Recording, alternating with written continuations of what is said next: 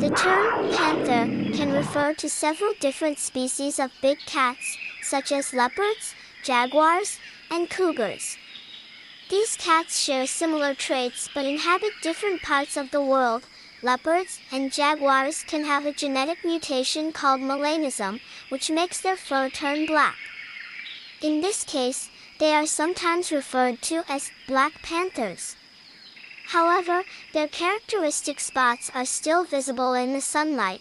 Panthers are generally adept swimmers and are often found near water. Jaguars, in particular, are known for their willingness to dive into the water to catch prey. Panthers are primarily nocturnal creatures. They possess excellent night vision and exceptional hunting skills in the dark.